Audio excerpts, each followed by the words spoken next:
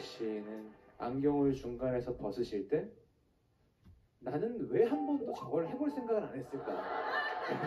이세훈 씨, 예, 예. 지금 해보시죠. 아니 지금은 음악이 없잖아요. 지금 그냥 뭐- 해보시죠. 아니 아니 그 멘트 하다가 하는 거는 좀 어. 멋이 없으니까. 아무튼 뭐 정말 뮤지컬을 보는 것 같이 너무 행복했고요. 어, 신성 씨 같은 경우에는 농이 있다 못해 터졌다. 터졌대. 그럴 정도로 약간 반칙 같은 느낌이죠. 야 신성은 어떡하지? 라는 생각이 들 정도로 저기 제가 덧붙여서 얘기하면 신성 씨는 다 내려놓은 분 같아요. 어, 맞아. 욕심이 없어요. 좋아요, 좋아요. 지금 선곡표 보고 깜짝 놀란 게 에녹 씨 선곡은 참 괜찮다라고 느꼈는데 신성 씨의 그 선곡은 어 이게 어떻게 표현하지? 어 이거 과연 얼마나 이게 잘 부를 수 있을까 하고 되게 걱정을 했거든요. 상상 외예요. 아 정말 놀랐어요. 이게 이게 트로트야. 이게 터진 거예요.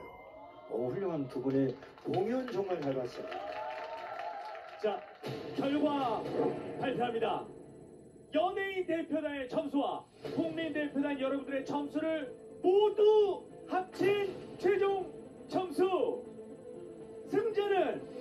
진짜 모르겠다. 이거. 최종 진짜 결과 모르겠다. 아 이거 한 명을 보내야 된다고? 안 돼. 못 보내. 안 돼. 나딱안 보내. 1대1 라이벌전 최종 결과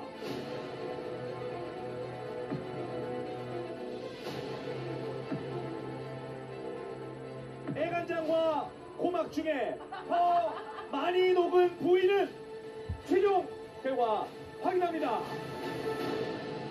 고막의 주인공 신성!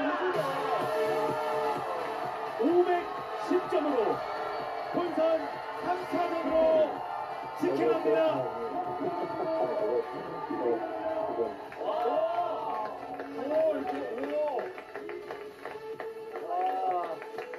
야, 어, 어, 이게 너무 셌어. 야, 어, 어, 이. 연예인 대표단 확인합니다.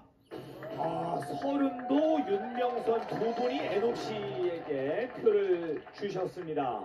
자, 나머지는 11분이 신성 씨에게 표를 주셨고요. 500